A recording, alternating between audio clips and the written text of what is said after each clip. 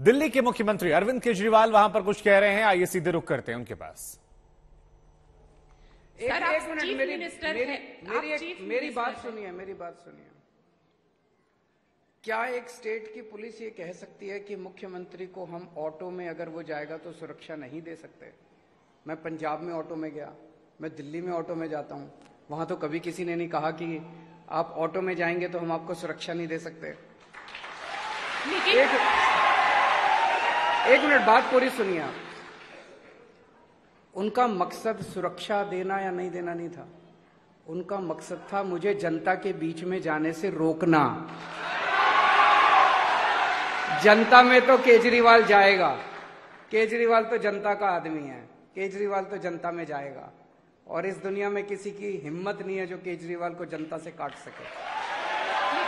तो तर्क वितर्क मत कीजिए। आप उनकी मंशा समझने की कोशिश कीजिए। उसके बाद मैं गया ना। सिक्योरिटी दी ना उन्होंने।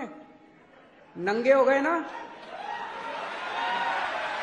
नेक्स्ट क्वेश्चन सर एक दूसरा सवाल ये भी है कि कांग्रेस के नेता है अजय कुमार उन्होंने ये आरोप लगाया है कि चंडीगढ़ के अंदर आप लोगों के पास तनख्वाह देने के लिए पैसे नहीं है लेकिन एडवर्टाइजिंग के पीछे आप लोगों ने करोड़ों रुपए जो चंडीगढ़ की सरकार है पंजाब की सरकार है उसने करोड़ों रुपए गुजरात के अंदर इन्वेस्ट किए किसने पूछा है सवाल?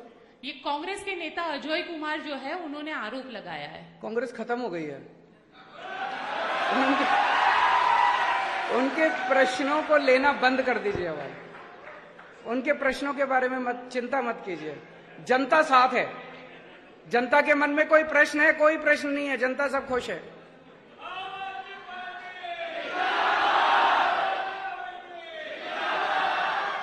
टीवी टीवी नाइन से जिग्नेश पटेल।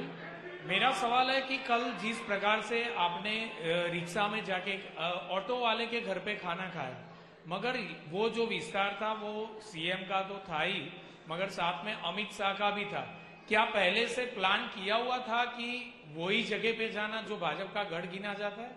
कुछ कोई, प्लान था? कोई प्लानिंग नहीं थी पर मुझे लगता है कि उन नेताओं को भी जाना चाहिए वहाँ पे।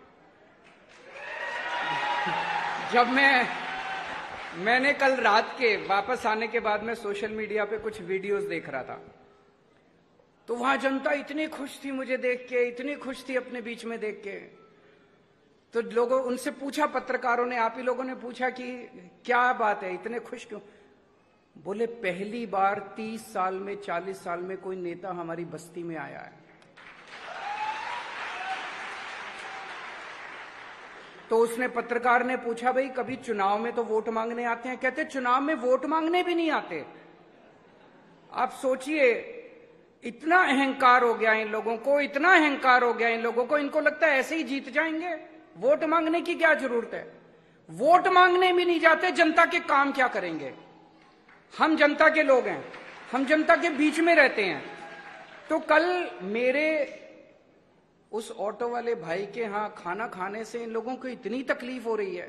मैं उनसे निवेदन करूँगा आप भी सब लोग जाइए और खाना खाइए जनता के बीच में। पता चलेगा कि जनता की तकलीफ़ क्या है। आ, सर मेरा नाम आशीष पंचाल है और मैं एबीपी न्यूज़ से हूँ। मेरा